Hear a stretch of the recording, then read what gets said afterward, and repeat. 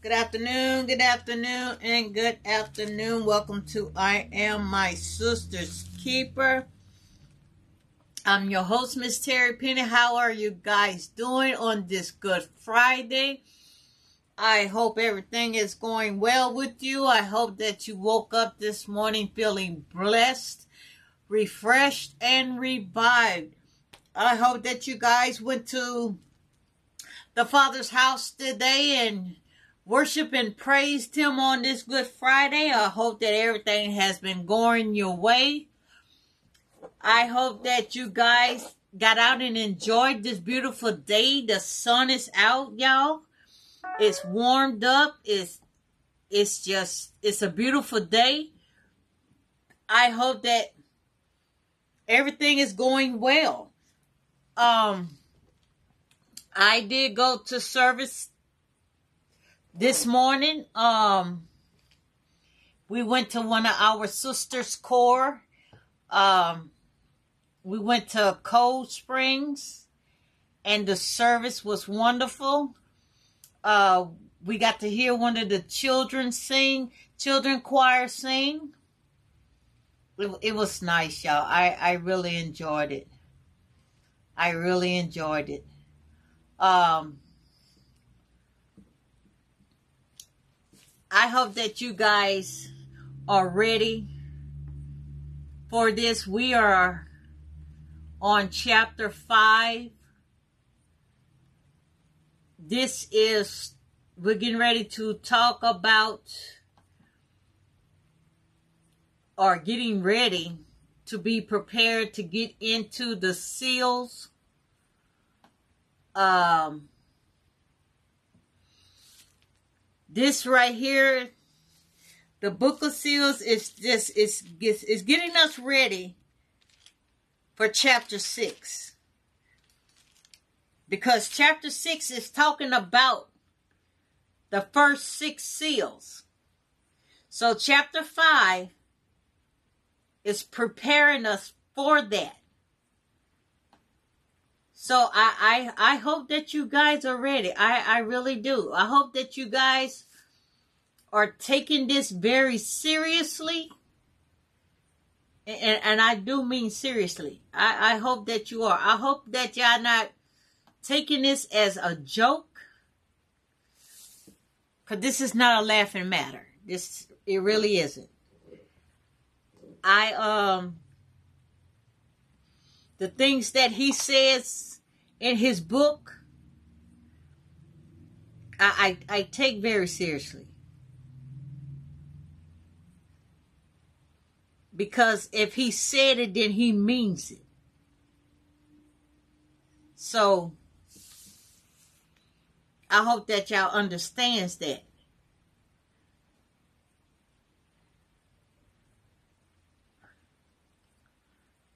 We're going to um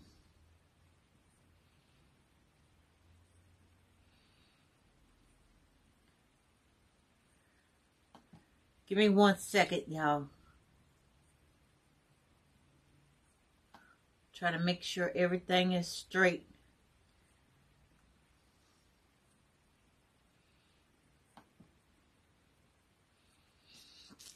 because it's I've been trying to um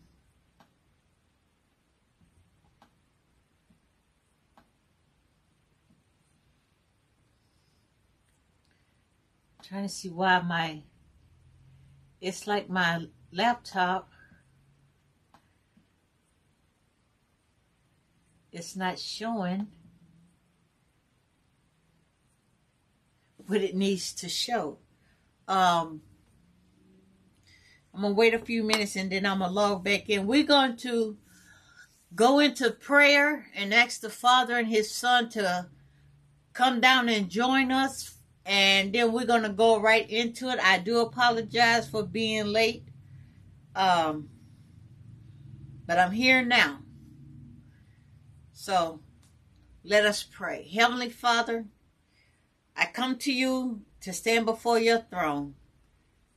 Father, I invite you and your Son, Jesus Christ, and the Holy Spirit to come down once again and join us as we study your words, as we go deeper into your words, as we search each verse,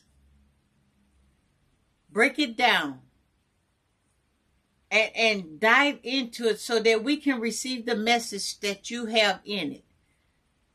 So that we can understand, Father, what it is that you are preparing us for. Jesus, we ask that you come down also and teach once again this class what we need to know about this passage. What is the message that you have for us? Holy Spirit, we ask that you come and join us also and take over the cameras, the audio, and everything else that needs to be done. So to make sure that his children can hear him clearly, can receive the message clearly without any interruptions. Father, I ask that you just come and join us and have a seat. And if it's anything that you need to say, then Father, we ask that you just join in. I ask that you hide me behind the cross. Don't let them see me, but let them see your Son, Jesus Christ, who lives within me. Don't let them hear my voice. but let them hear the voice of your Son, Jesus Christ, who speaks through me. So that they know that these are His words, His message.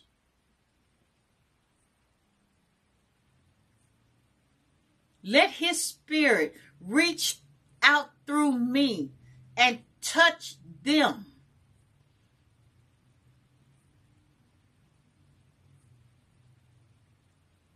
so that they know without any doubt that this is the Lord, our Savior, Jesus Christ, that is teaching this class. That I am just a willing vessel that is being used. Father, I pray that this be pleasing and acceptable to you Holy Spirit, I ask that you wash and cleanse me in the blood of the Lamb. So, as the Son of God, Jesus Christ, our Lord and Savior, our Messiah, our King, steps into this vessel, that I step out. That there is no iniquities or transgressions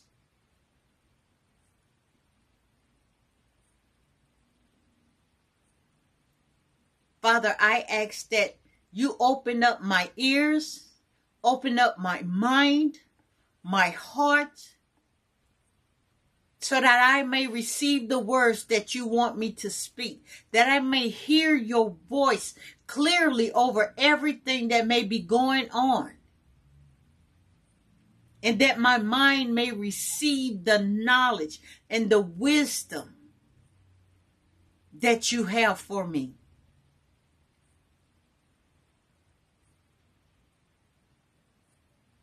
So, Jesus, that your words, that your teachings may be spoken to your children. Decrease me. Decrease me and increase you that is in me.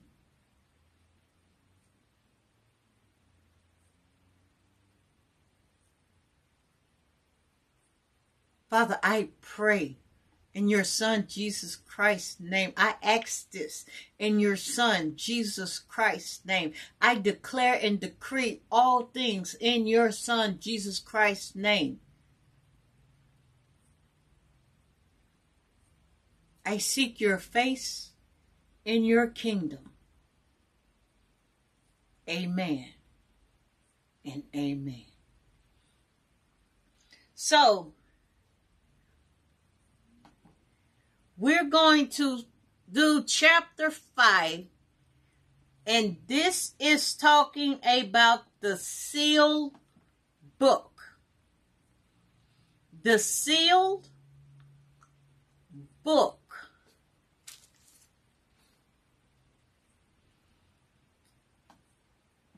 Okay. I think we got it now.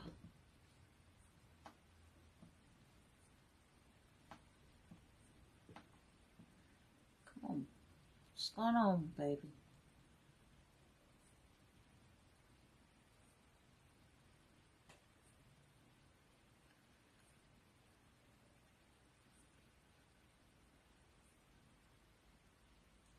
I try to have my my laptop going too, so that if you guys have questions or concerns that I can see them and I can answer them too while we're live. And, you know, we can do it while we're going, but it's like my laptop is, uh, but she gonna work, she gonna get it, she gonna get it. She just having some problems right now. So, chapter 5. Oh, there, there she is. See, I told you. There she is.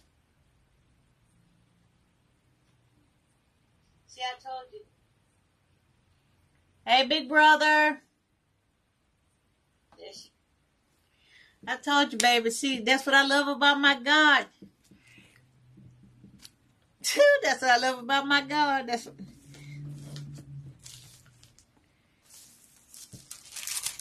That's why I tell y'all.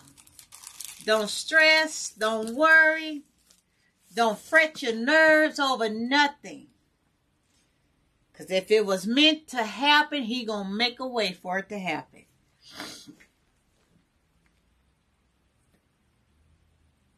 Chapter 5, the sealed book. It says, now today I'm reading from we're doing the Bible verses from, I'm doing it from the King James Version. And I'm doing, it's four, excuse me, it's only 14 verses in chapter 5. 14 verses. But they're in sections. From verses 1 through 4 is talking about the sealed books verse 5 through 7 is the lion and the lamb. Uh, from 8 to 14, it talks about worship.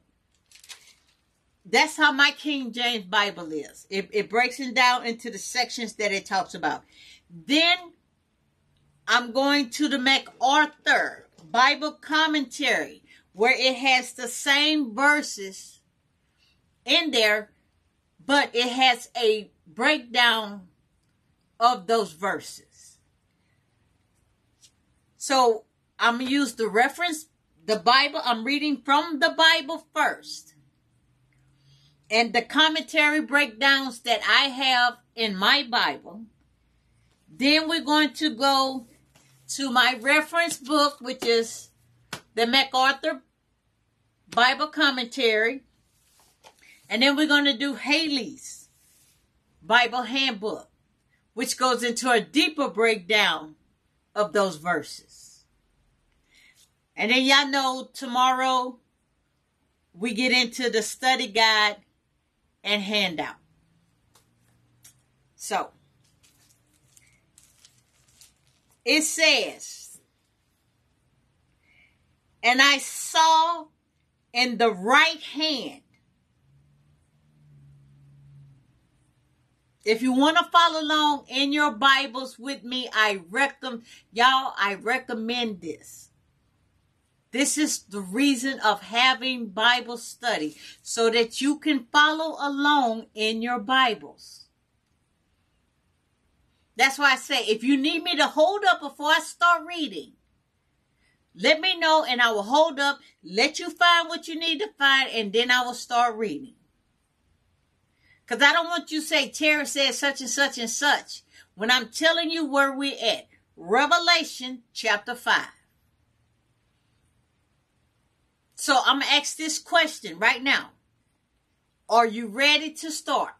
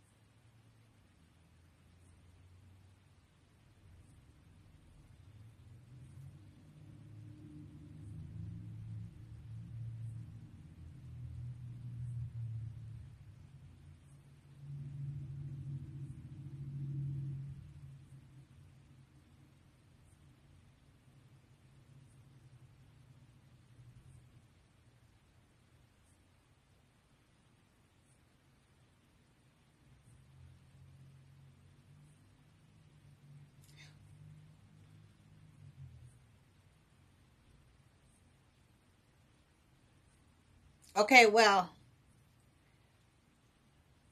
Do you want me to go ahead and just start reading, Big Brother, or you want me to give you time to find your Bible?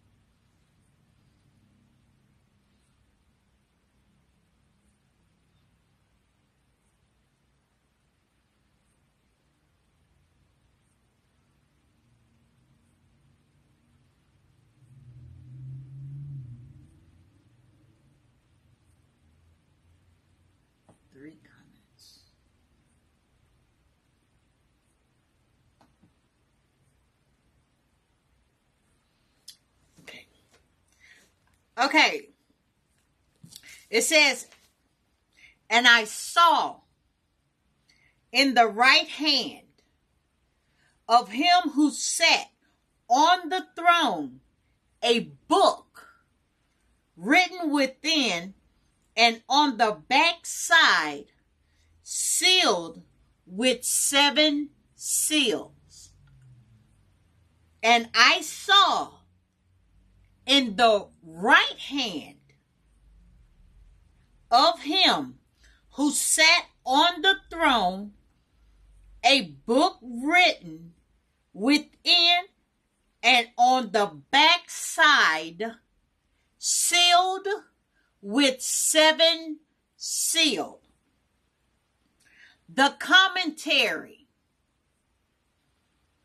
And I saw in the right hand signifies power. The right hand signifies power of him who sat on the throne a book written within and on the backside sealed with seven seals. The seven seals signifies that the time of Jacob's trouble is about to begin. This is a sign that the tribulations are about to start, which will rapidly bring to a conclusion that which must be done. All of this must happen and before Christ's return.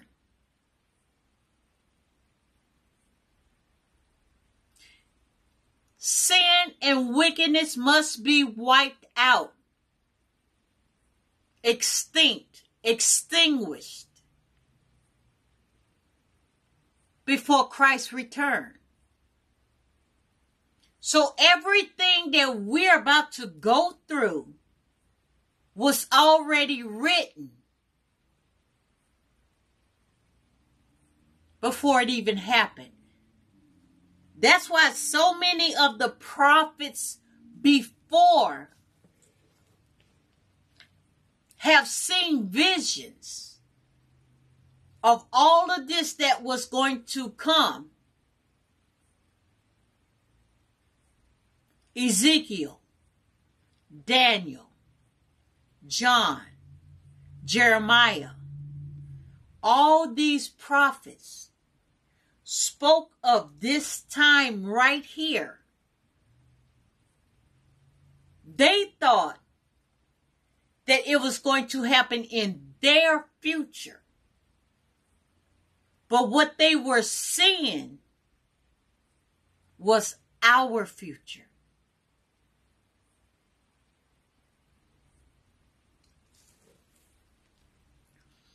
Verse 2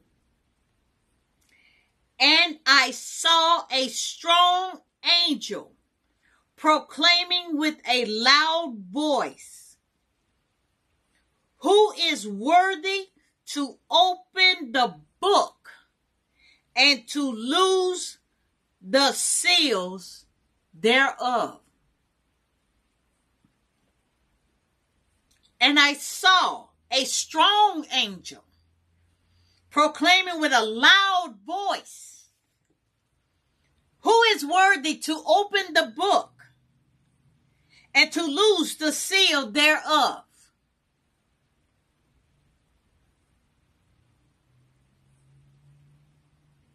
Commentary. And I saw a strong angel proclaiming with a loud voice. This strong angel is probably Gabriel as evidenced by Gabriel's appearance to Daniel. Remember, Gabriel is the same angel who appeared to Mary, Joseph, Abraham. He's a messenger of God.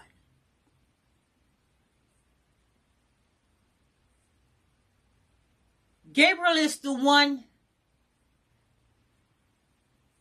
who took the message to John and Patmos.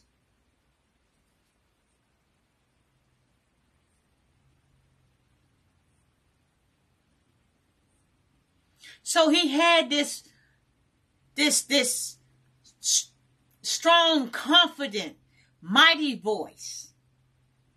He was a speaker. Michael, on the other hand, was a fighter. He was the captain of the army in, in, in heaven. But Gabriel was the Gabriel and Michael are two important archangels in heaven. When God wants to send, send an angel to give you an, an important message from him, he will send Gabriel.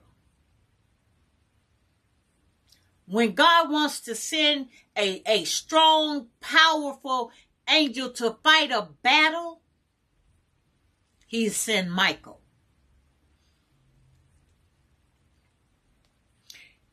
It says, Who is worthy to open the book and to loose the seals thereof. This implies moral fitness. Roman 1 4.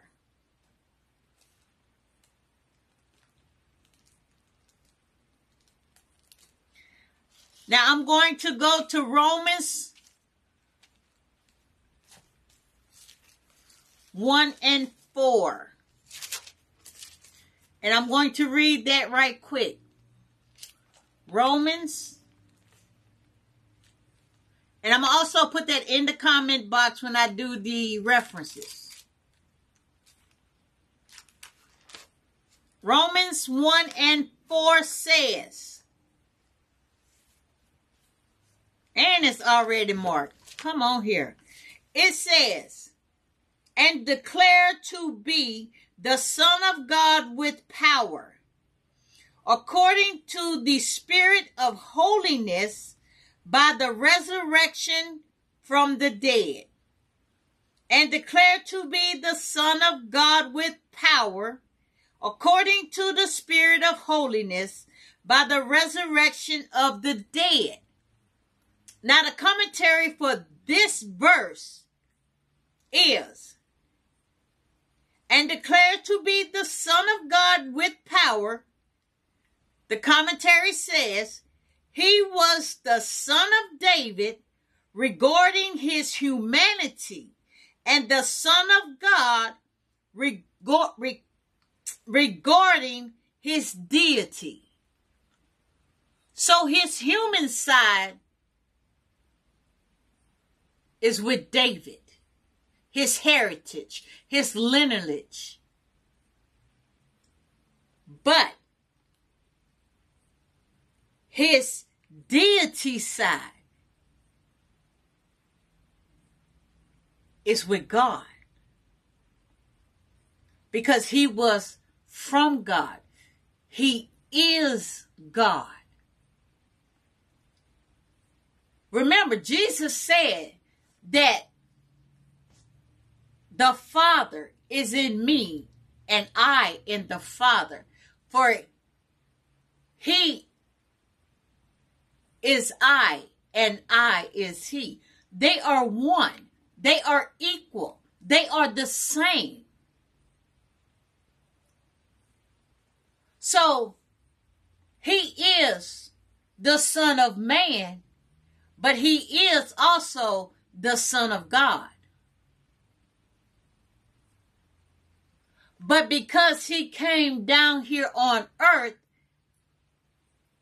he humbled his deity and his human side was shown more.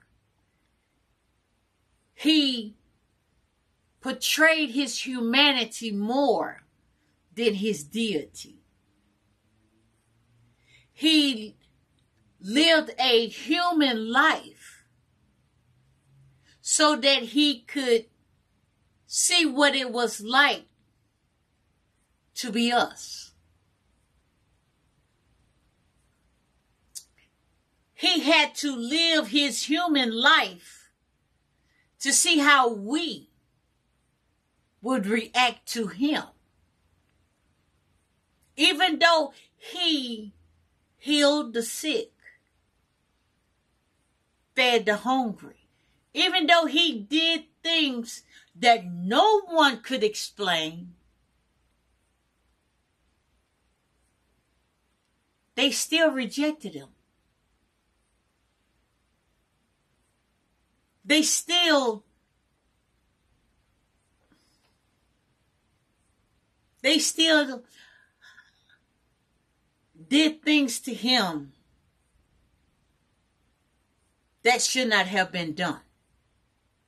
He was still betrayed. Jesus was discriminated against because of where he was from.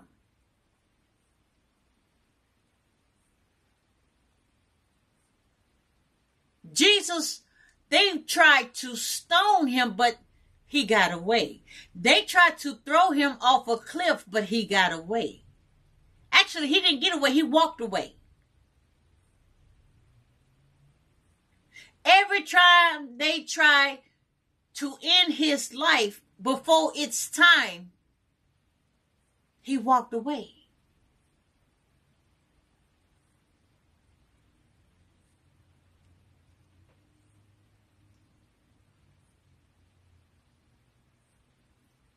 But little do they know that he had the power in him to take each and every one of their lives in a split second. All he had to do is snap his fingers. These people had cried out for years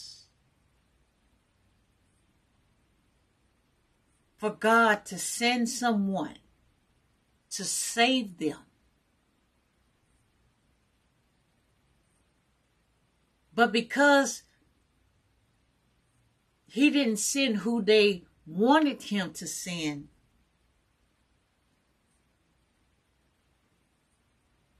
they, they didn't accept him. They took him as a fraud, an impostor.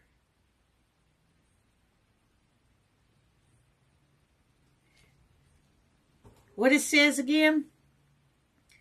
and declared to be the Son of God with power. He was the Son of David regarding his humanity and the Son of God regarding his deity. He was both. It says, according to the Spirit of holiness, presents another name for Holy Spirit by the resurrection from the dead. The Jews crucified Jesus because he claimed to be the Son of God. God resurrected him because he was the Son of God. His own people killed him because he said that he was the Son of God. But God resurrected him because he was telling the truth.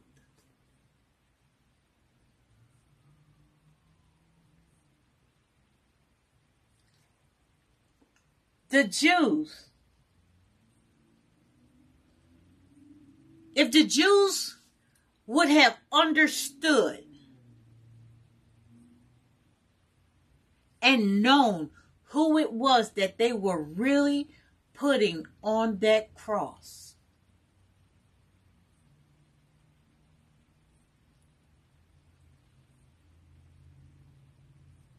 I think, you know, I, I in fact, I don't think I if they knew who Jesus was, before they put him on that cross. I think this world would have been a whole lot different than what it was, what it is now.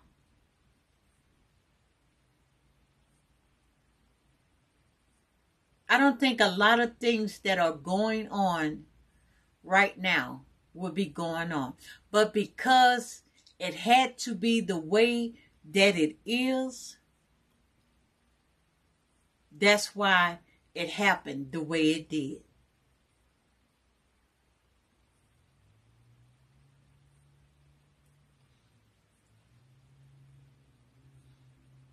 Because I don't think it was meant for Jesus to walk this earth as a human the whole time. I, I sometimes sooner or later he would have had to be ascended back to heaven. It would have been nice for him to stay down here with us in human form, but I don't think it was meant for him to stay down here. I think it was meant for him to stay up there.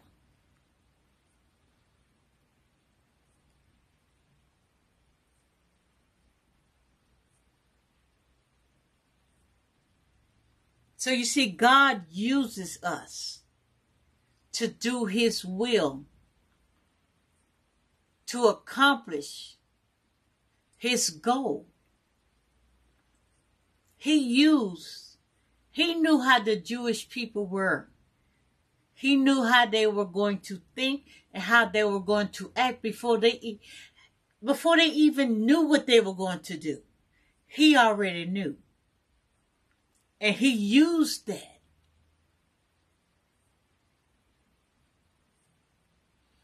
He knew that they were stuck in the laws of Moses. He knew that soon as Jesus came and started teaching and preaching the way that he did, that he was going to cause problems, a rift with the people. Okay, y'all, excuse me. I need to get a pillow. I need to get a pillow. I need to get a pillow. Oh my gosh. Hold on one second, y'all.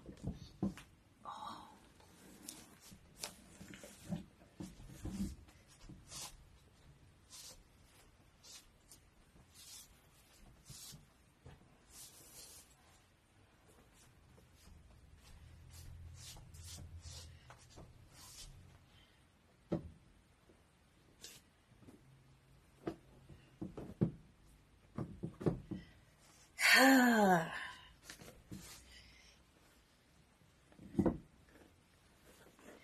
telling y'all, for Christmas, I'm buying me a chair.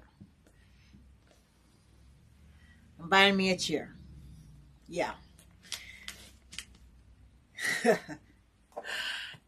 um, ooh, that's so much better. He does the same today. He knows how we're going to react, how we're going to act. He knows exactly what we're going to do. He knows our facial expressions. He knows our body language.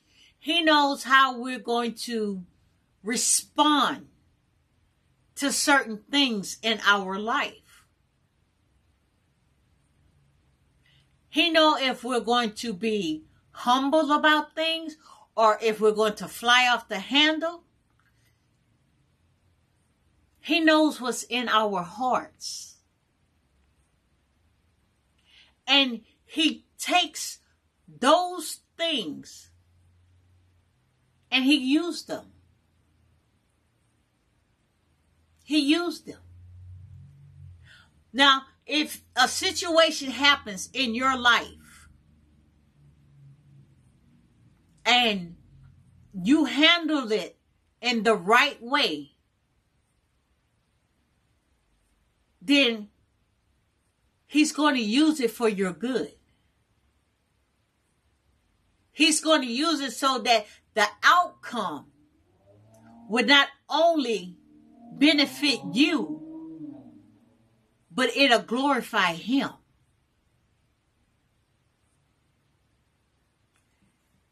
If you have that same situation and you have malicious thoughts or evil thoughts in your mind or in your heart to do,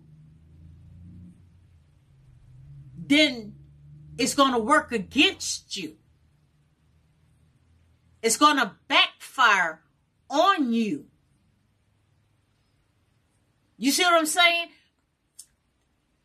The Jews crucified his son because he said that he was his son. They thought that they had killed him that they had got rid of him, that they wouldn't have to deal with him anymore.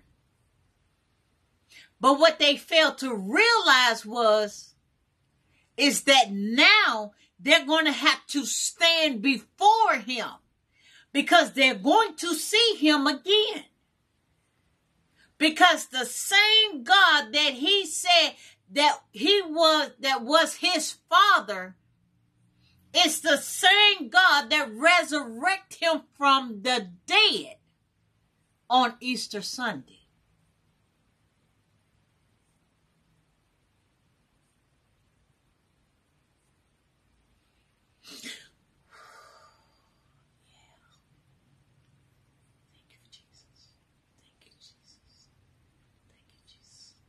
Do y'all understand that? Let me say it again. When you're in a situation and you handle it with humility and you do it the right way and you defuse the situation and you try to solve it without yelling and screaming and fussing and cussing and fighting and shooting each other and bringing harm to one another. When you try to do it the right way, he will use that situation for your good. because then it will benefit you and glorify him. But if you choose to be in that same situation and it brings harm to someone or a life is lost or there's fighting cussing or an escalated or elevated argument, then it will backfire on you. And you will suffer the consequences. Do you understand that? That is what happened to the Jews. That's what happened when they crucified Jesus.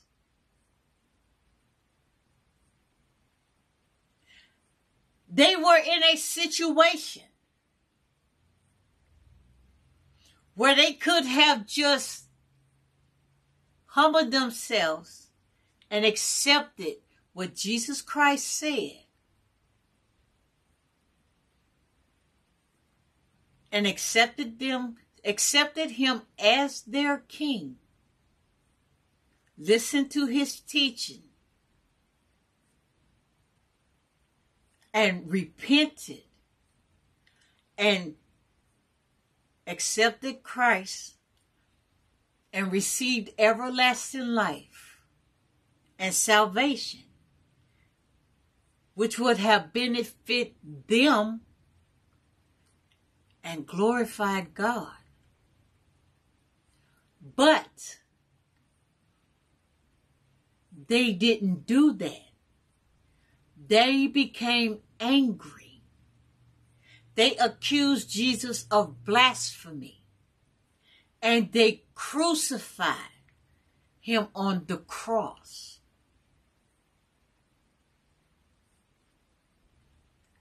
And it backfired on them. Instead of giving them peace at what they did, now they suffered. And they still suffering today. And they're going to continue to suffer one last time through the great trials and tribulations. And once again, they're going to call out to God to send someone to save them from the Antichrist. And again, God is going to send his son, Jesus Christ, to save his people. And when the Jews gathered together in Israel and stand before Jesus with their heads hung low in shame, they're going to realize who it was that they placed on that cross.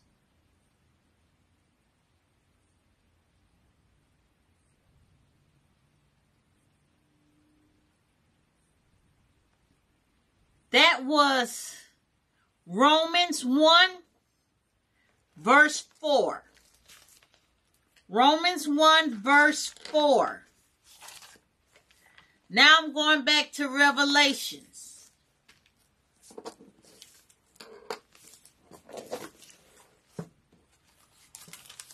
And that was just verse 2 of Revelation.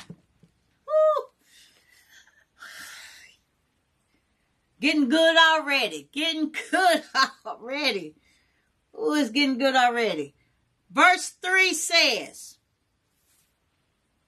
And no man in heaven nor in earth, neither under the earth, was able to open the book, neither to look thereon. I'm going to read that again. No man in heaven, nor in earth, neither under the earth, was able to open the book neither to look thereon.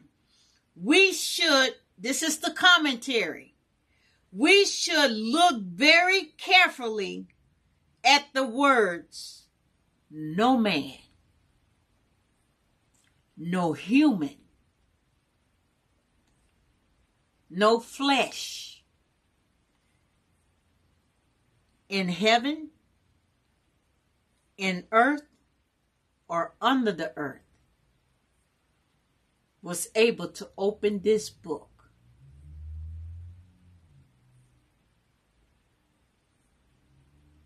There is nothing on this planet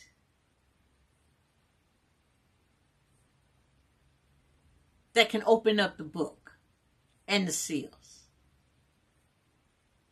We are so full of sin and transgressions that we can't get nowhere near this book.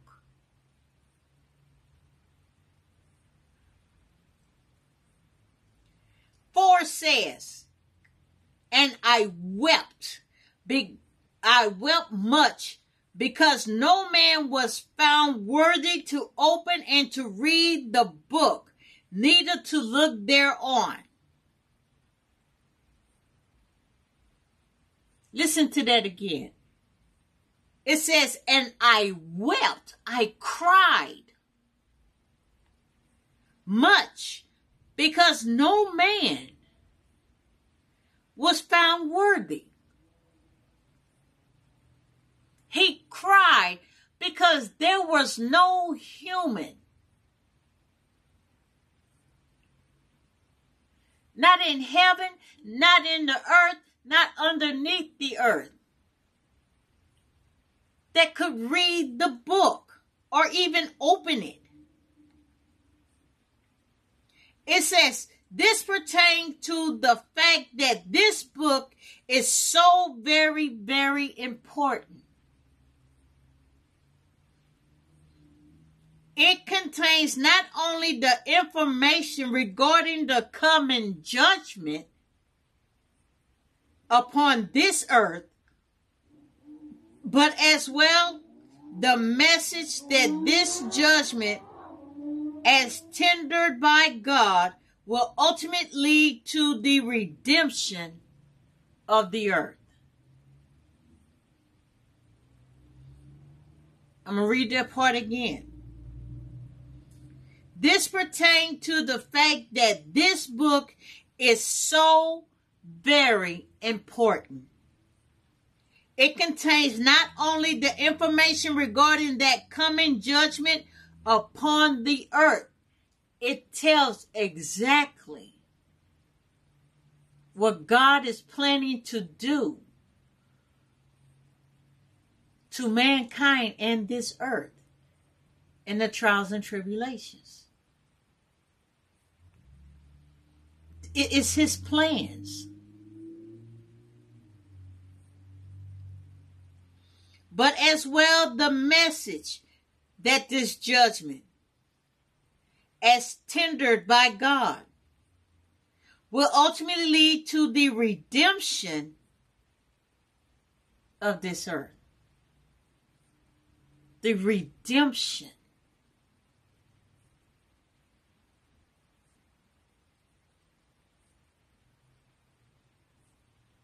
Where it will be it will be made new. It will be transformed and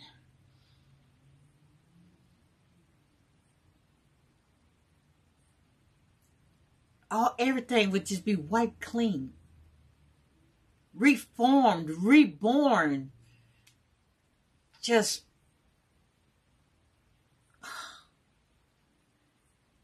it's going to be so magnificently oh y'all it's can you imagine a new heaven and a new earth can you just imagine what that will be like? New grass, new trees, new everything. All the bloodshed and, and, and fighting and horror that has been going on on this earth from, from the time that, that, that humans were first placed on it up until the time that the last body was buried after the Battle of Armageddon, Satan has been put away for good in the lake of fire and brimstone. All the, the blood from the battle has been washed away and cleansed. And every I just get chills just thinking about it.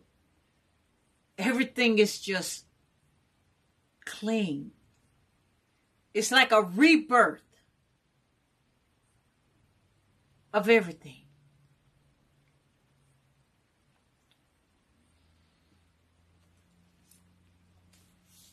Now that was verse 1 through 4 talking about the sealed book and what it contains. Now, what we're going to do, we're going to go to the MacArthur Bible commentary and we're going to see what verse 1 and 4 says in there.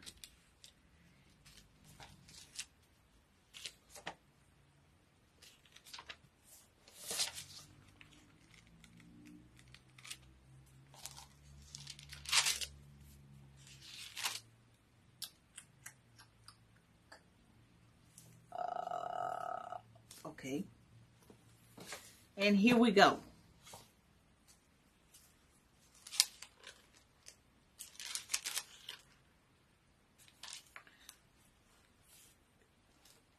Okay, 5 1. A scroll written inside and on the back, sealed with seven seals.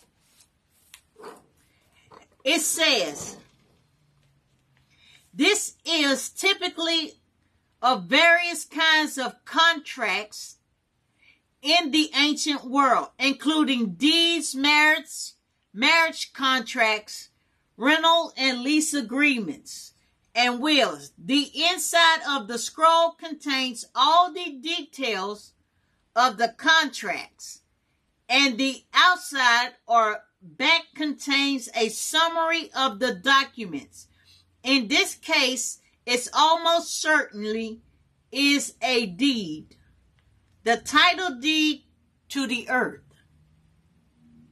Sealed with seven seals, Romans sealed their wills seven times on the edge at each row to prevent unauthorized entry. Hebrews title deeds requires a minimum of three witnesses and three separate seals, with more important transactions requiring more witnesses and seals. So this seal is like a title deed to the earth. So remember, all this has to happen. All these things must go on because at the end, the Father is giving the new heaven and the new earth to Jesus for his atonement that he paid on the cross. So he's handing the deeds to the earth to Jesus. Jesus is the only one who can open up the seals. He's the only one that can open up the books.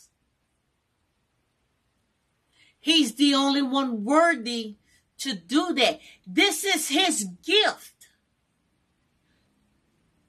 Why would anyone else open these things except the one who it belongs to? The new heaven and the new earth belongs to Jesus. The people that will be inhabiting the new earth and the new heaven belongs to Jesus.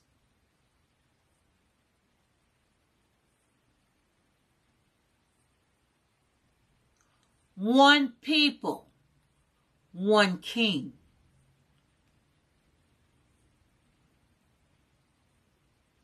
Oh, come on. What?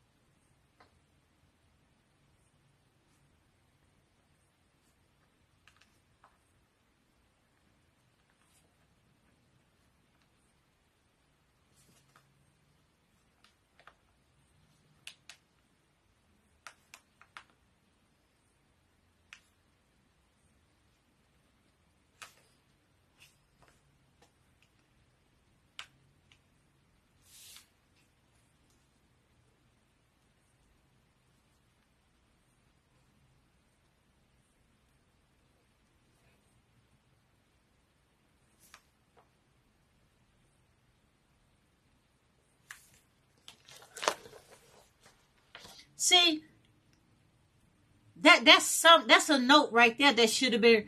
This, this is why I I love having Bible study because it's it's a pit. It, it, it's it's knowledge. It's knowledge. That's something. That's a note right there that should have been written down. This is why we go. This is why things are happening the way it is happening. This is what was planned all along. This is what was planned all along. God was planning on giving his son all of this from the beginning. This is what he was when he put Adam and Eve here the first time. If they had not had messed up, all of this was going to be for Jesus. But because they sinned and cursed the land, we had to go through all of this to get to this point.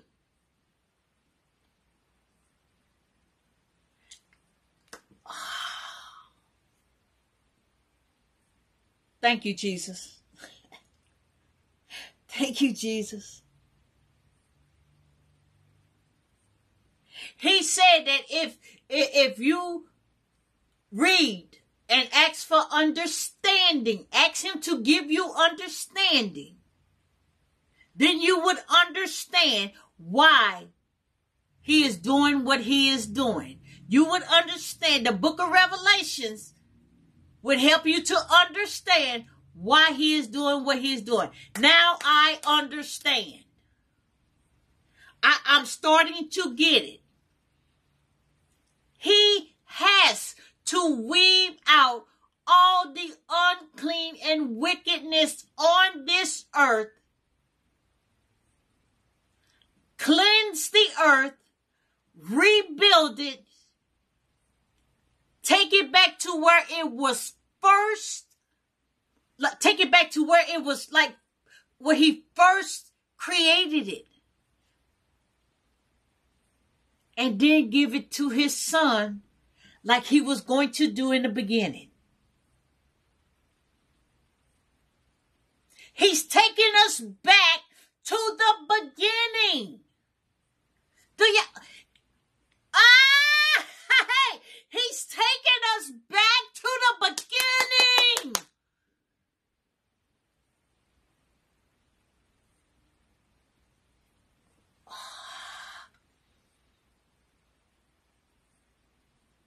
He's taking us back to the beginning.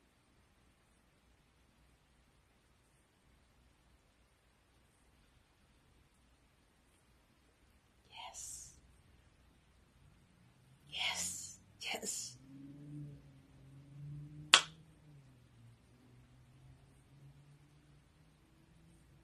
Taking us back.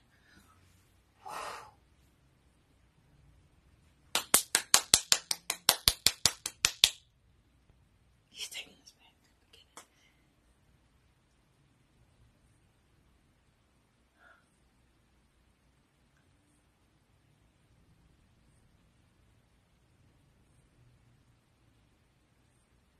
to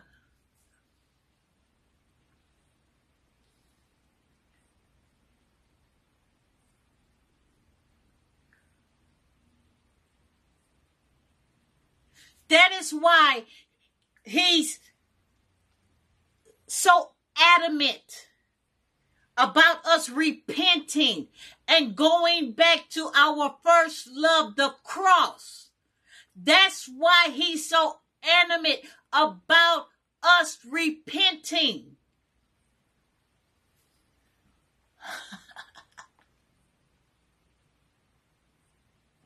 Oh, I love you. I love you. I love you. I love you. I love you. I love you. I love you. I love you I love you so much. I love you so much. I love you so much. I love you so much. I love you so much. I love you so much. Oh, I love you so much. I love you so much. I love you so much. I love you so much. Oh, I love you so much. I love you so much. Oh, I love you so much. I love you so much.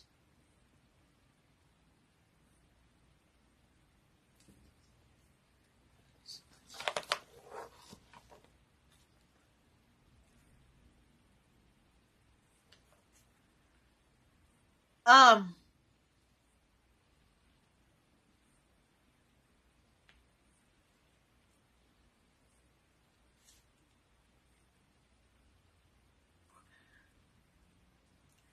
Verse, I'm still in MacArthur's.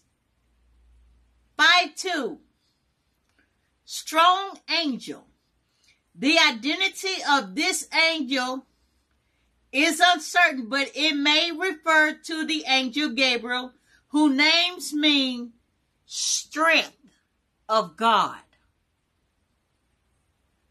Strength of God. Daniel 8:16.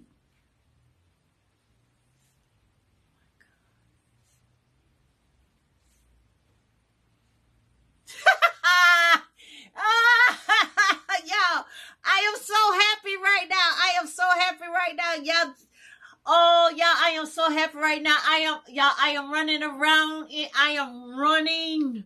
I am running right now. I am running right now. I, um, y'all, he, mm, Give me a just give me a second. Give me a second, please. Give me a second. Give me a second.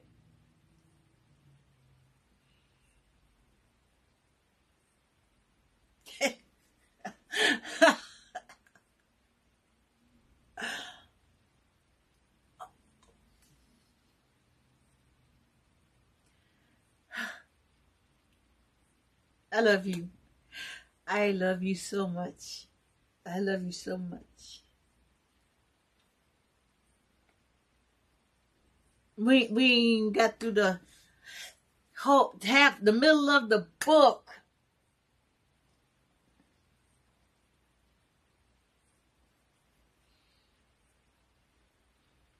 You are so amazing. You are so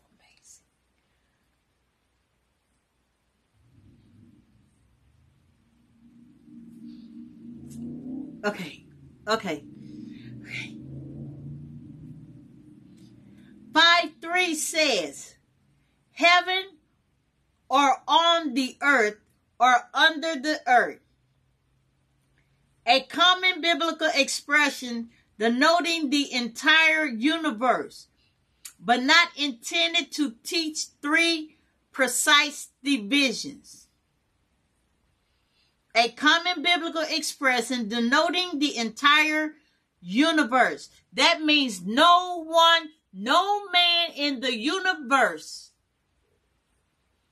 is able to open or look in or open the seals. There was none worthy to do this.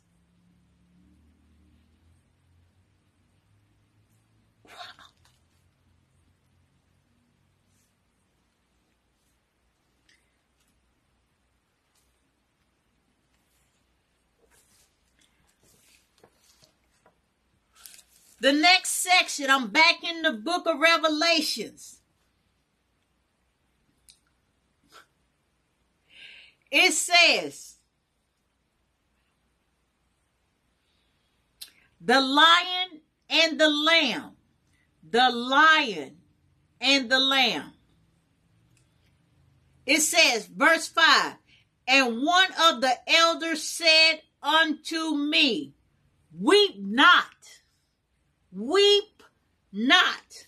Behold, the lion of the tribe of Judah and the root of David has prevailed to the open the book and to loose the seven seals thereof. I'm going to read that again. I'm going to read that again. And one of the elders said unto me, Weep not. Behold, the lion of the tribe of Judah, the root of David, has prevailed. Open the book and to loose the seven seals thereof. Commentary. And one of the elders said unto me, Weep not, states that man's dilemma has been solved. Behold, the lion of the tribe of Judah, the root of David, has prevailed to open the book and to loose the seven seals thereof, presents Jesus Christ.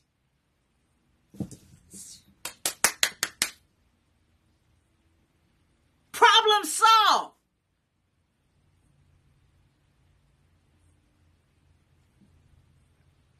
Six says, and I beheld, and lo, in the midst of the throne and of the four beasts, and in the midst of the elders, stood a lamb as it had been slain.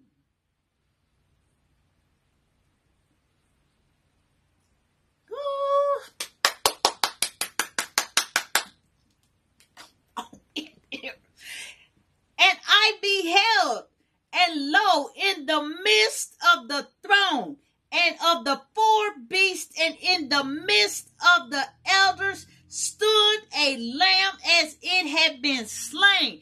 Commentary. Oh, wait. Oh, I'm sorry. Hold on. Having seven horns and seven eyes, are. oh wait, am I reading this right? Yep. Are the seven spirits of God sent, which are the seven spirits of God sent forth into all the earth. Commentary. The crucifixion of Christ is represented here by the word lamb, which refers to the fact that it was the cross, the cross which redeemed mankind. It was the cross that redeemed mankind.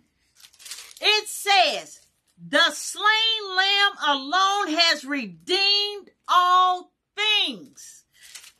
Commentary one more time. Let me hear it again. It says the crucifixion of Christ is represented here by the word lamb. It says, which refers to the fact that it was the cross, not man, not this world, but the cross which redeemed mankind, not Satan, but the cross that redeemed mankind. Come on here, y'all. It was the cross that redeemed us.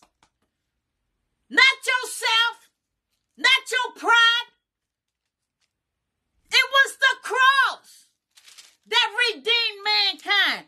It was the slain lamb alone who redeemed all things. It was the lamb. It says horns denote dominion and seven denotes total dominion. All of this was done for you. For you. He did this for all of us.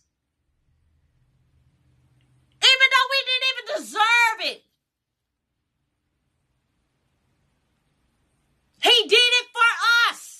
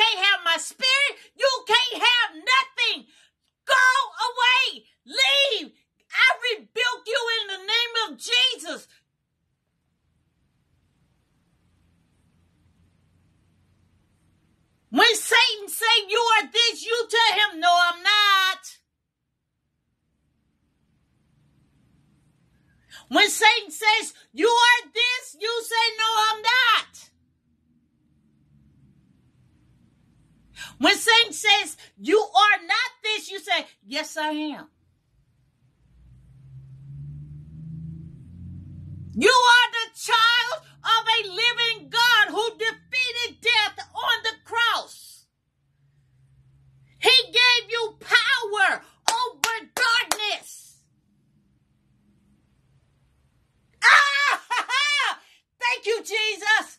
Thank you, Jesus. Thank you, Jesus. Thank you, Jesus. Thank you, Jesus. Thank you, Jesus. Woo! Thank you, Jesus.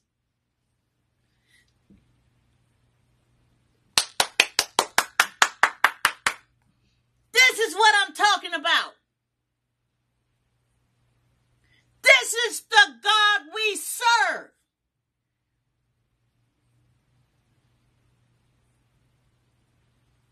This.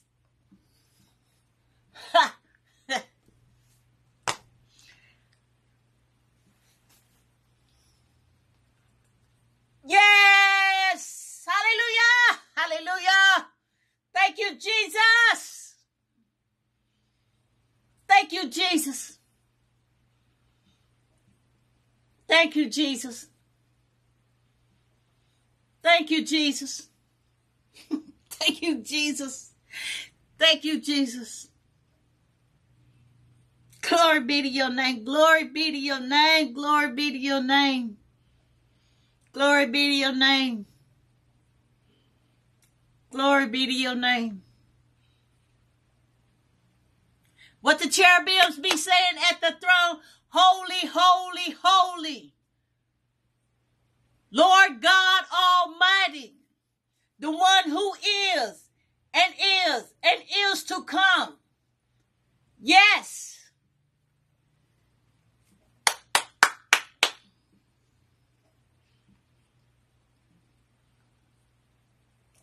Yes. Yes.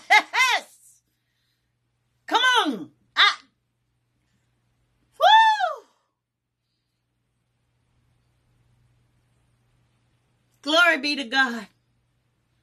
Glory be to God. Yes. Yes.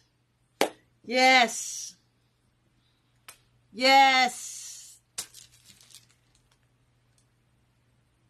Hmm. He said, and in every capacity. So there is no excuse, no excuse for the lack of victory. No excuse. There is no excuse why you sitting there sugarcoating his words. There is no excuse why you sitting there on and lying to his people. There's no excuse why you making them feel comfortable in their sins. There is no excuse why you can't get out and talk and preach and minister his words to his people. There is no excuse why you hiding in your house. There is no excuse why you can't get out there and feed those who are hungry. There is no excuse why you sitting on that money. There is no excuse why you can't go to church on Sundays. There is no excuse why you cannot spend time with him. There is no excuse why you can't say a prayer or give him thanksgiving when you open your eyes in the morning before you get out of bed. There is no excuse why you cannot spend at least 10 to 15 minutes with that man who sits on the throne that wakes you up every morning. There is no excuse when he has given you the power to do what you need to do. There is no excuse. So you need to stop making them.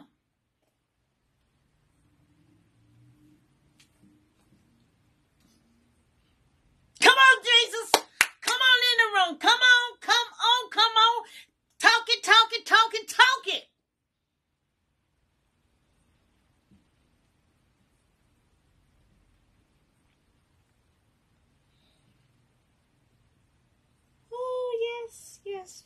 Yes. Yes. Yes. Yes. Yes. Yes. Yes. He also says, and seven eyes denotes total, perfect, pure, and complete illumination of all things spiritual, which is again made possible for you and me by the cross. If the believer makes the cross the object of his faith, he will never be drawn away by false doctrines. Okay? If the cross is the object of your faith, can't nobody steer you wrong. Can't nobody come at you with this wishy washy.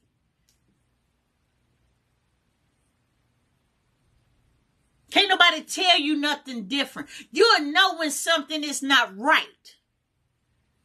And then you gonna get up and you gonna move around. Can't nobody distract you from that cross. Can't nobody tell you I don't care who they are. You serve one God. You listen to one God.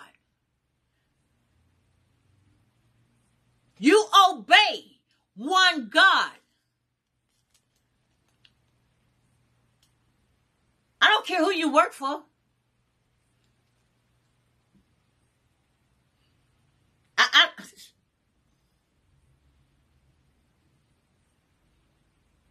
hate me. I don't care. Dislike me. I don't care. Do what you do. I don't care. I serve one God and one God only. I listen to one God and one God only. I move when he say move. I do what he say do and I say what he says. If you don't like it, then you take it up with him. But if he don't tell me to do something, guess what, boo boo? I'm not doing it. I don't care how much you emphasize, sugarcoat it, wrap it up, put it in a pretty bow and throw some sprinkles on top of it. Terri's not moving. You can't shake me, scare me, or none of that. I serve a God that's so powerful, baby. He will take a tidal wave and whip you right on out of here. Don't play with me. You better know who my daddy is.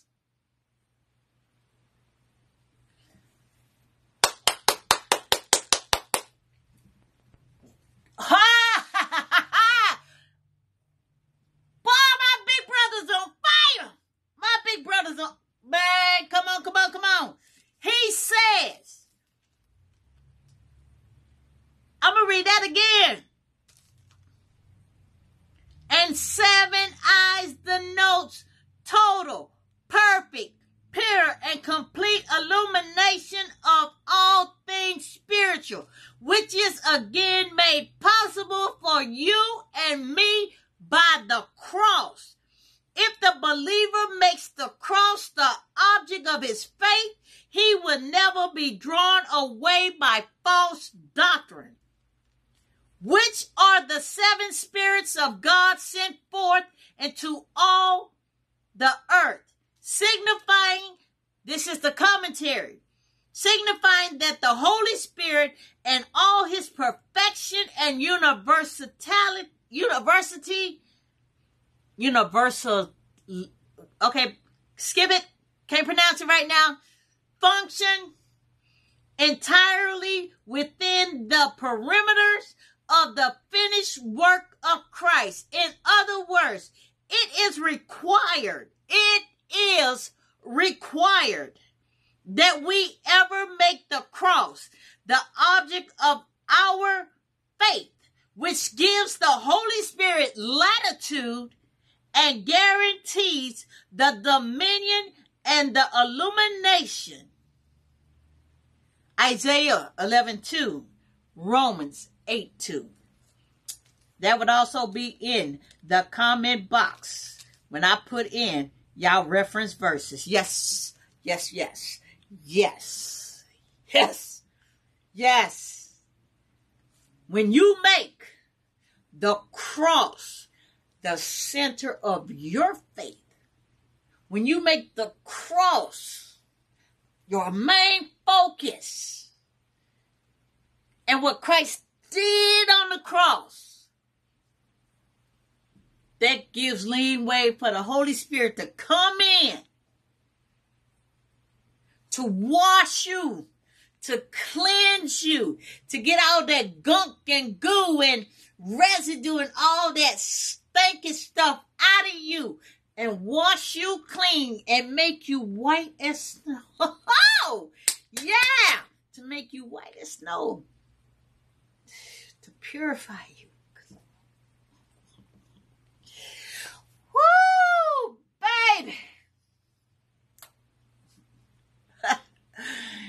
hey, baby, look at here, look at here, look at here, y'all. Look at here. Y'all look at here, okay? Let me tell y'all what's going on right now in up in here, okay? Let me tell you what's going on up in here. See, right now, I'm up up there in my, on my 92 acres of land, and me and my two labradoodles, my caramel and my chocolate labradoodle dogs, are outside running around playing, flipping in the backyard. Okay, that's where I'm at. Yes, yes.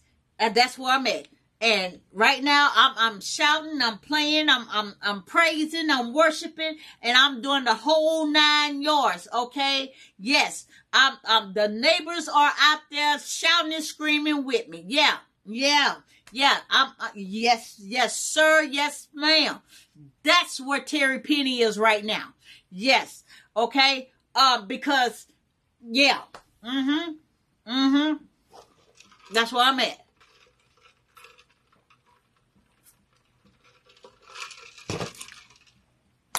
Now, when my brother finished teaching this class, do I want to come back down here? No, no, I do not. I, I, I'm being honest with y'all. I want to stay up there. I, I it, mm-hmm. Yeah. Yeah. Verse 7. Verse 7. And he came and took the book out of the right hand of him who sat upon the throne. Jesus came and took the book out of the right hand of the Father. Yes, he did. Who sat upon the throne all of heaven stand in awe as the Lamb steps forward to take the book out of God the Father's hand. My big brother did that. My big brother did that. Our Lord and Savior Jesus Christ, who gave his life on the cross for our sins to pay our debt. Something that he did not have to do, but he did it anyway because he loved us and didn't want to see us suffer. When he did that, he tore the veil so that we can see the Father. We can we can pray to the Father ourselves by using his name. he stepped to the Father and reached out and took the book from out of his hands.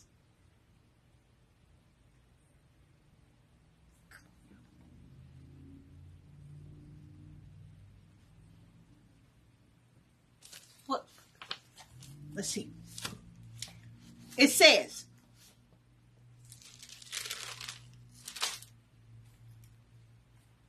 Going to MacArthur. Going to MacArthur. MacArthur says, verse 5 the lion of the tribe of Judah. One of the earliest titles for the Messiah. Oh, there's another. It said, it speaks of his fierceness and strength, which although glimpsed in his first coming, do not appear in their fullness until the moment anticipated here. One of the earliest titles of the Messiah. Genesis 49 verses 8 through 12. That was one of his earliest names. The Lion of Judah. It speaks of his fierceness and his strength. Oh, and that is so true. He was fierce. Oh, yes, he was. Especially when they was selling things and and and and, and just defiling his father's house. And he just went ballistic and said that his father was his father's house was a house of prayer and they turn it into a, a, a den of thieves. And he just started y'all I, I, tell everybody about this because that scene there that that showed that he he he was he he got angry. He got mad. He he he, he was like he was upset. He even got mad with the pharisees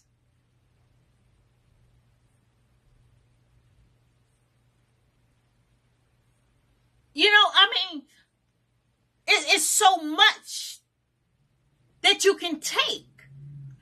I mean, it, it, you know, it, it's just like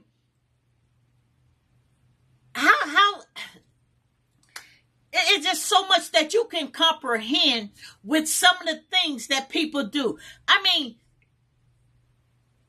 you mean to tell me that you can't you you really you just you really you really don't under you really did not understand that what you just did did not make sense. You you really didn't see that. You you really could not comprehend that what the what you just said the words that came out of your mouth did not make sense. Do you just not you really did not understand that what you just did you don't understand that that hurts somebody. You you can't see that you were physically bringing pain to somebody by what you was doing.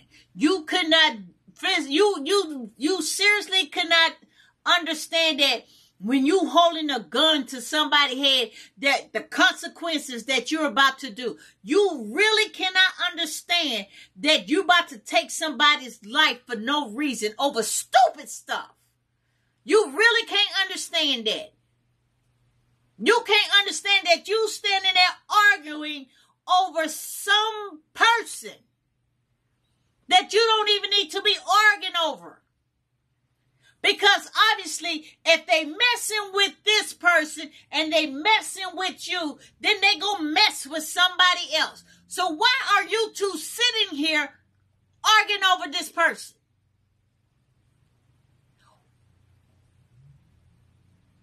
It's beyond me. He got mad. He he's he gets upset. He put those same traits in us. Especially when it comes to things dealing with the Father. They was at the temple selling.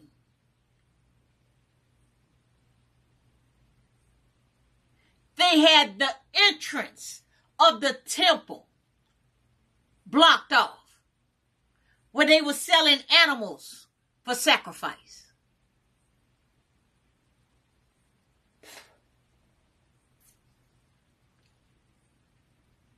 You you you mean I mean y'all don't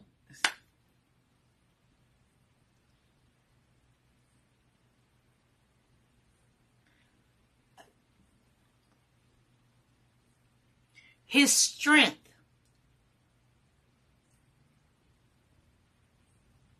They thought they could break him. They thought they could wear him down.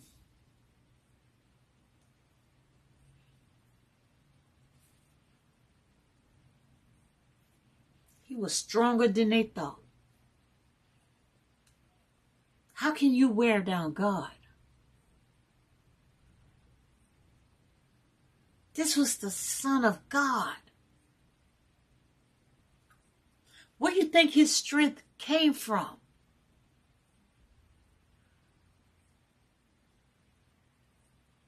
Well, where do you think our strength comes from? Why do you think so many of his followers are willing to give their lives for him? Why do you think we're so zealous and willing to keep fighting to the bitter end?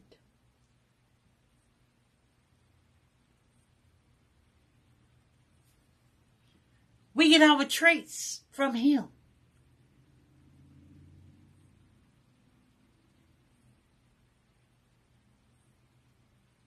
We we we get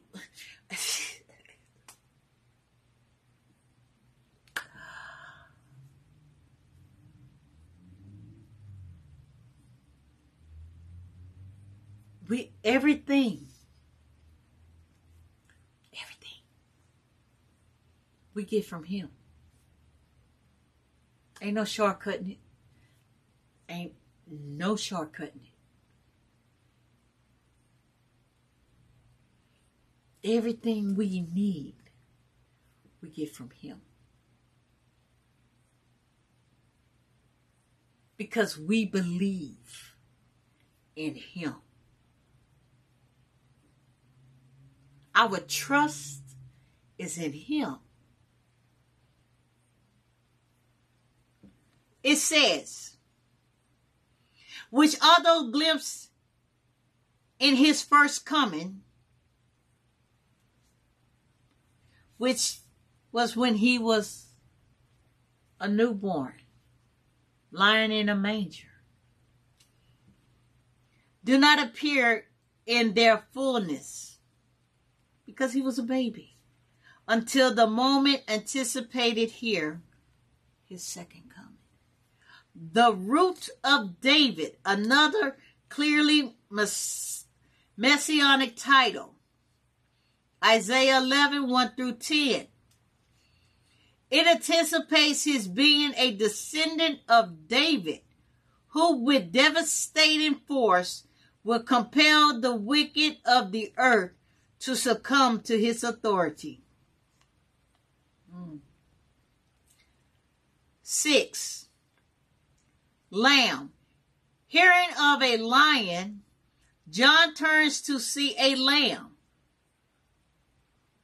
God requires the Jews to bring the Passover lamb into their houses four days, essentially make, making it a pet before it was to be violent, violent, violently slain.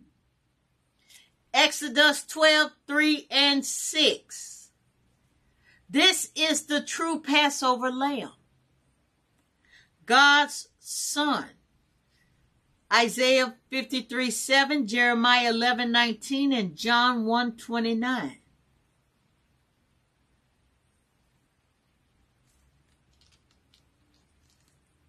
As though it had been slain. The scars from its slaughter are still clearly visible, but is standing. It is alive. The hands, the feet, the scars on his back. Where the crown was piercing on the side. still visible, but he was alive. He was alive. when he came and, and, and, and showed himself to his disciples,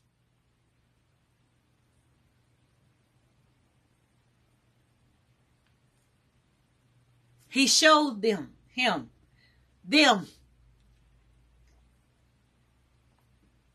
his scars.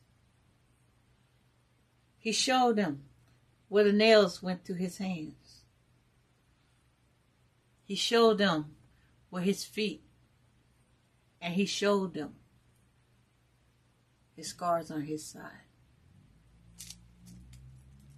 But he was alive. He was alive.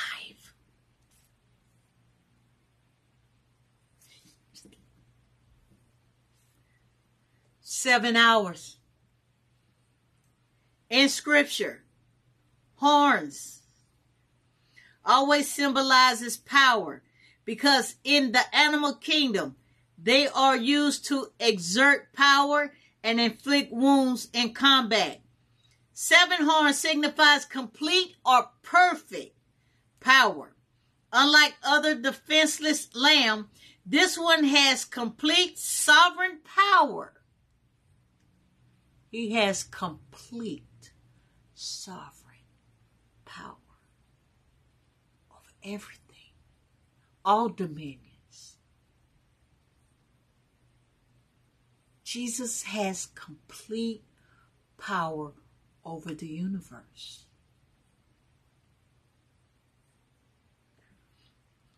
Seven eyes, seven spirits.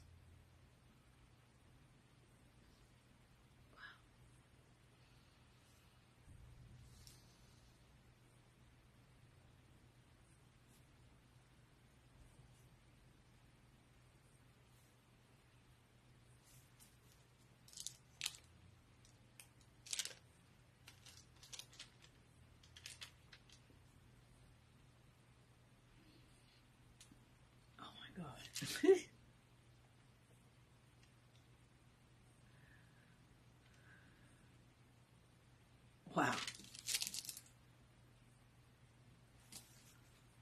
Okay, um.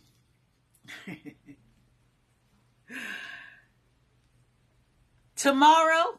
No no no no no no no no no no. No sunday.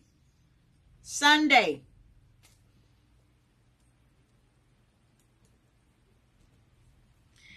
Sunday we will do verses 8 through 14.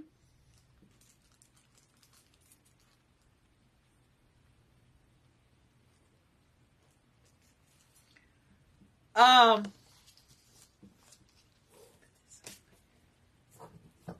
I'm going to read verses 1 through 7 from Halley's.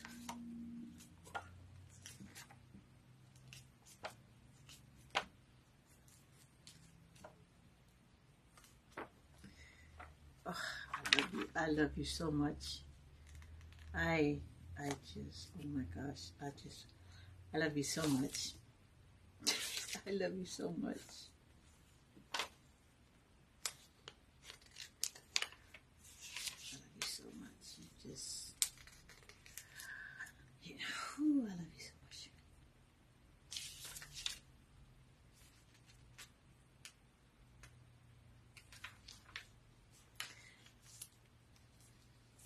And I'm going to just read this right quick. It says, The Sealed Scroll. The theme of chapter 4 is the creative power of God, of chapter 5, the redemptive power of Christ. John continues to describe the scene in heaven. The sealed scroll. The scroll contains the secrets of the future the final stage of Christ's redemptive work. All creation wants to know the outcome, but the only way to open the book is to break the seventh seal. and the only the only one person and all of creation can do this not because he is strong but because he is worthy that person of course is Jesus as the seven seals are broken by Jesus one by one there comes into John's vision a panorama of the future rolling on to the end the opening of each of the seven seals results in terrible happenings on earth. It is not until all the seals have been broken that the ultimate future becomes clear. The new heaven and the new earth. God living with his redeemed and restored creation. The last seal was the most terrible of the seven. When it was opened, it turned out to contain seven trumpets, each of which hurled more disasters. And some interpreters see the seven trumpets as containing the seven bowls filled with plagues that are poured on the earth before the final end. Thus, we see seven seals, six, one through eight. I'm, I'm sorry, 6 1 and 8 1. Seven trumpets, 8 2 and 11 19. And seven bowls, 15 through 16. Many interpreters, however, see the seven seals and the seven trumpets in chapter 6 through 11 as the complete sequence of judgment.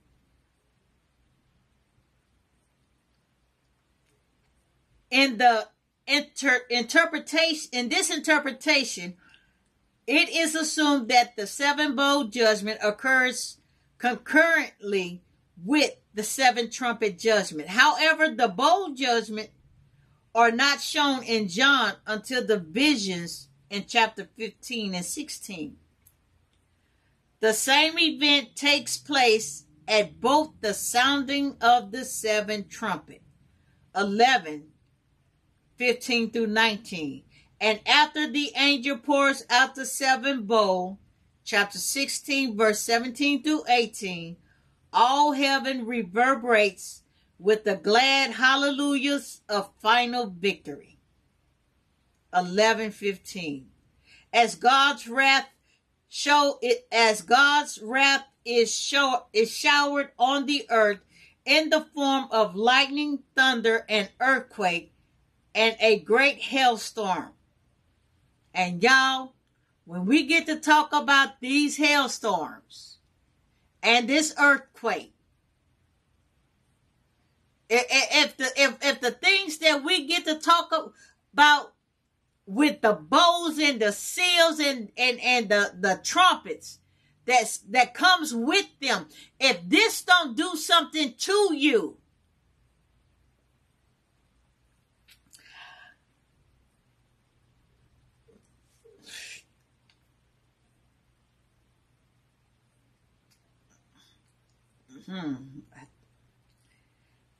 Chapter 12 through 20 are then the retelling of the events of the preceding chapters. The seven seals and the seven trumpets together form the main framework of revelations and carry the story swiftly forward to the end. Then the writer, following a common literary literary method of scriptures return to the beginning and starting with chapter 12 begins over again with additional or explanatory details. The lion of Judah is the lamb. At the beginning of the book of Revelation, Christ appears as the warrior in the in relations to his church. He is called a lion. But when the lion appears, he is a lamb. Throughout the remaining chapters, Christ is generally called the lion. The lamb represents, the lion represents power, the lamb sacrifice, and ultimately victory.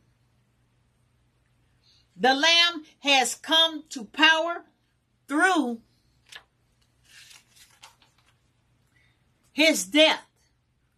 The secret of Christ's power is his suffering, paradoxical as it may seem. Seven eyes represent all knowledge. The seven horns, all conquering might. Christ now, mm, no. Christ not only knows the future, but he has the power to control it. Did you hear that? Christ not only knows the future, but he has the power to control it. The rest goes with 8 through 14, which we'll do tomorrow. I mean, not tomorrow, Sunday. Y'all know Saturday, I'm, I'm not doing nothing Saturday. Okay, so that's that's that. So Sunday we will pick up with verse 8 through 14. And then Monday we will start the study guides and study sheets for chapter 5 and go into more details of the verses Y'all, I um I love it. I love it. I love it when my big brother Jesus Christ take over a class and start teaching because I I get I learn I learn and y'all I'm telling you y'all get your pen get your paper and I'm telling you it's gonna be some notes that you need to take when you see me with my hand out right there cause I had to take notes. Because it, it what we learned out of this, and I read out of the MacArthur Bible commentary, that was telling us right there what the book of Revelation and all this what we was going through was for. Why he is getting us to repent of our sins. Because in the beginning, when the Garden of Eden was brought about and Adam and Eve was put in there to take care of the land, to take care of the animals, to do what they were supposed to do. And Eve, who was gullible, listening to the serpent, took a bite of the fruit, and then Adam, who was standing right there with her, took a bite too. They cursed the land. They cursed all of us.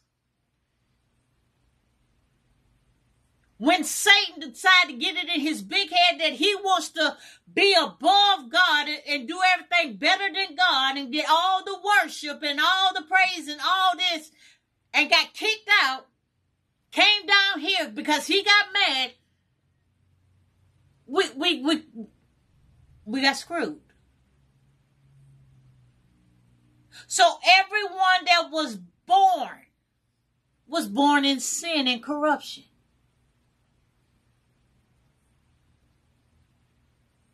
But God gave us free will. We could choose Him or we can choose this world. The majority of us chose this world, which means sin grew. Then we had all these other people because I'm not gonna say what I want this. I was gonna say. I'm so glad that my brother is still here with me and inside of me to keep me on the right frequency. Um, came down it, and then they start doing things uh, that was not right with God, and then all things broke loose. Then he brought the flood. And then he said he wasn't going to do that no more because he's not going to destroy the earth because of man. And then he sent out his prophets and prophetess and, and, and all his people out to try to bring the people back to him and bring the, and they, but they didn't want to listen. So what he had to, y'all, right now, I, I, I, it, it, I could he he they didn't want to listen so he he told me to keep talking so i'm gonna keep talking so they didn't want to listen so he sat there and he he showed them y'all y'all don't want y'all want to be disobedient y'all want to rebel so okay well let me show y'all i'm finna chastise y'all i'm finna show y'all my strength since y'all want to braise up against me. Y'all want to be grown. Y'all want to act like y'all grown. Okay, well, I'm gonna I'm gonna treat y'all like y'all grown and he brought their enemies against them. They went into captivity for 70 years. And, and, and what makes it so bad, this is the thing. They, they broke the Sabbath. Every seven years, you're supposed to let your land, if you are a farmer and you grow vegetables on the land, it don't matter where you are, what you grow every seven years. You're supposed to let that land rest. It's called a Sabbath for the land. Yes, that land is supposed to rest. Just like on the Sabbath, the seventh day of the week, you're supposed to rest your body, your maids, your maid servants, your man servants, your children, everybody in your household is supposed to rest on the Sabbath. Your land is supposed to rest too every seven years. Every seven years, your maid servants are supposed to be set free. It's in the book. But they didn't do that. So he told them when Hezekiah and them set their manservants and their maid servants free, but as soon as they found out that Nebuchadnezzar and them had left, they didn't know that it was only part of their army that had left. They thought it was their whole army that left. They called their man servants and their maid servants back to work. That was a no-no. Because see now since you done brought them back into captivity and back into slavery, guess where you going? Into slavery. So when Nebuchadnezzar came upon them, where did they go? Into captivity. For how long? 70 years. Why? Because they did not let the land rest. Okay. And then you still did not repent and come back to Christ you still kept doing what you wanted to do. See, Hezekiah was supposed to make a covenant with Nebuchadnezzar so that Nebuchadnezzar can protect, protect the people. But instead, what did he do? He went and did what he wanted to do, and he would have made a covenant with the Egyptians. But what happened? The Egyptians sent their big army thinking they're gonna come against Nebuchadnezzar. But what they didn't know was that Nebuchadnezzar was under the influence of God. So when God sent Nebuchadnezzar army against the Egyptians, the Egyptians hauled tail back to Egypt. They got scared. They ran. So now they have nobody to protect them. So what happened? Nebuchadnezzar came in there and cleaned house. But see, Nebuchadnezzar got overzealous. He got greedy. That's why the Medes and the Persians took over Babylon.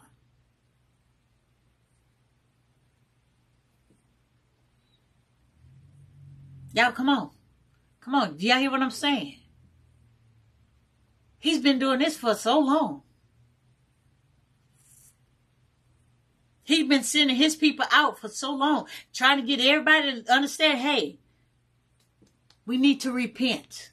We need to go back to where we first started. We need to go back to the cross. We need to repent. We need to come together as a people and repent. We need to come together as a people and repent. We need to come back as a people and repent. We need to make the cross our focus. We need to get back to the cross and focus. We need to get back to the cross and focus. He, we've been preaching this for over 2,000 something years. We need to get back to the cross and repent.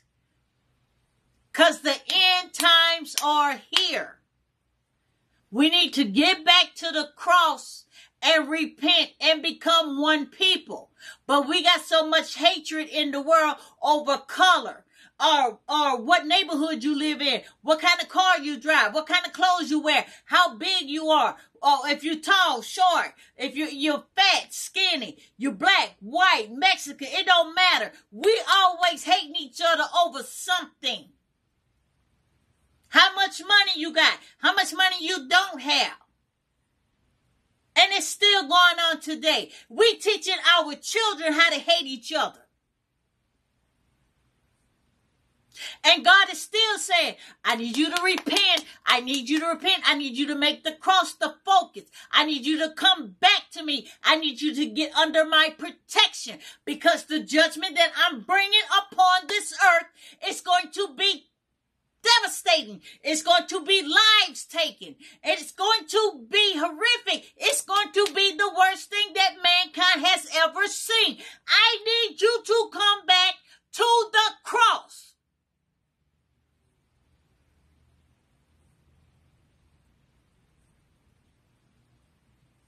I need you to listen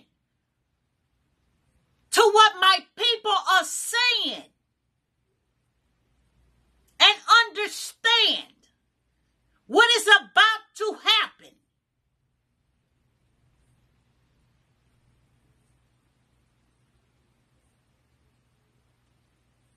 Because some of us think that we have all the time in the world. We're procrastinating. We think that we know what's best for us. We think that we know how to live. We know we know what we're doing. Some of us think we don't need God. Some of us think that the things that we have, we did by the sweat and blood of our own hands. Some of us think that we did this. We struggled to get this. We put in the time and the effort to do this. We work to get this.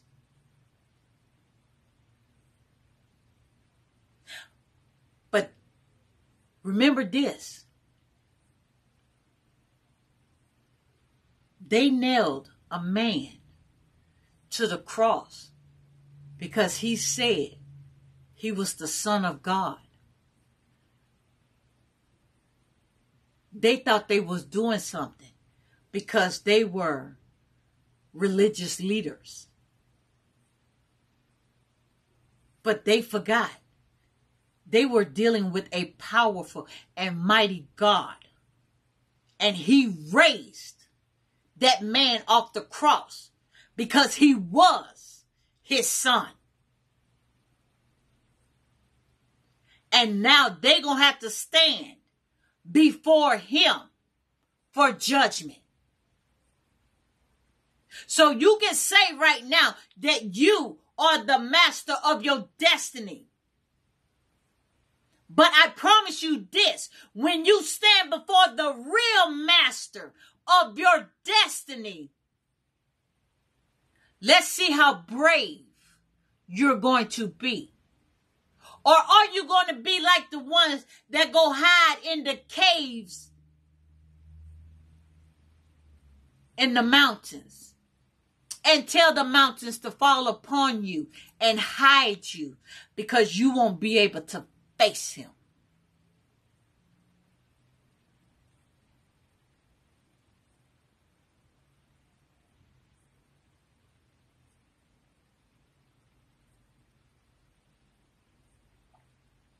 It's time for the soft voices of the shepherds and the teachers and the evangelists and the missionaries and the prophets and the prophetess and, and the people of God. It's time for the soft voices, the tender voices, the gentle whispers it's time to turn up the volume because they can't hear you.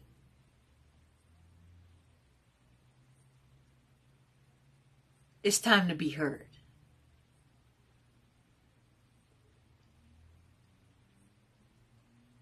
Because he's coming. He's coming.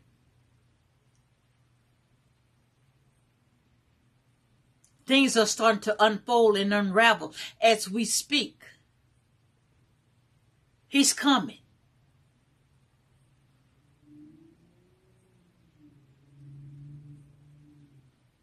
How much time do we have? Who knows? When is he coming? Who knows?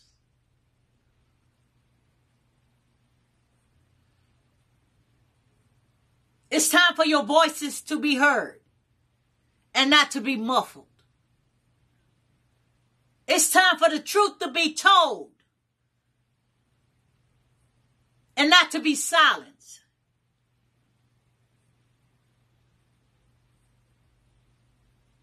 It's time for the sword to be drawn and cuts to be made.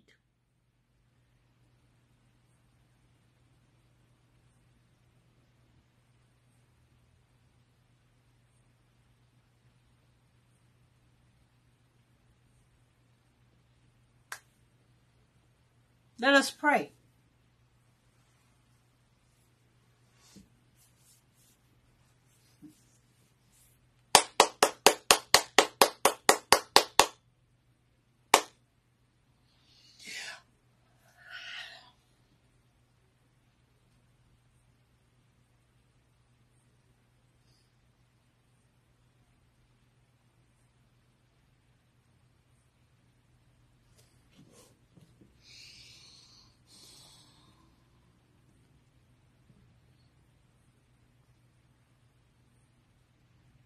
Heavenly Father,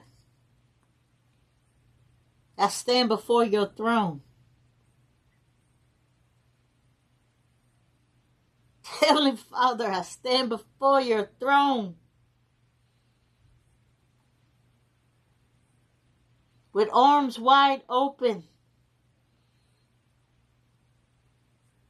screaming your holy name.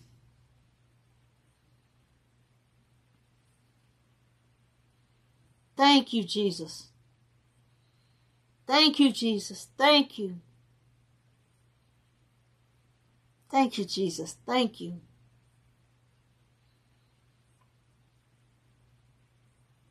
Thank you, Father, for coming down and sitting with us tonight. Thank you, Jesus, for teaching this class. Thank you. Thank you. Thank you, Holy Spirit, for just doing what you do. Just doing what you do. Father, I pray that this class has been pleasing and acceptable to you, that it has glorified you and, and, and lift you up and, and has blessed your kingdom.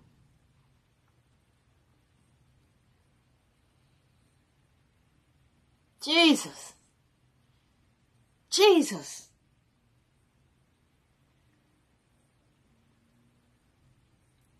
You are mighty. You are mighty.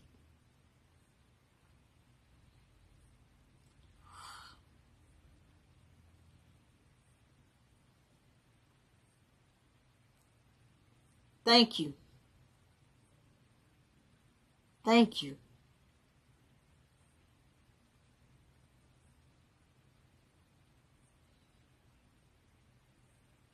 Thank you so much. Thank you so much. Oh, Father, thank you so much.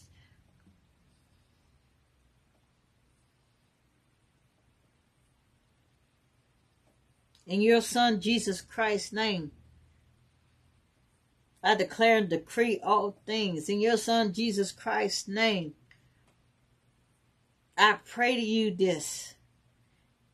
In your Son, Jesus Christ's name, I seek your face in your kingdom. In your Son, Jesus Christ's name, I pray. Amen and amen.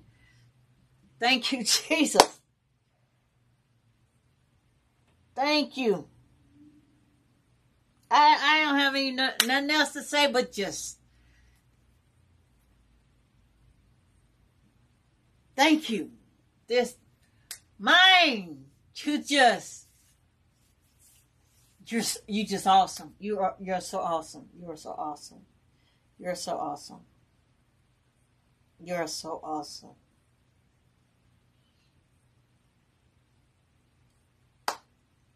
You guys have a blessed and wonderful rest of your Good Friday. I hope that this Bible study lesson has touched each and every one of you guys. I hope that y'all truly got something out of this one. If y'all ain't got nothing out of now lesson, which I hope y'all did, but I really hope y'all got something out of this one. Know that God loves each and every one of you.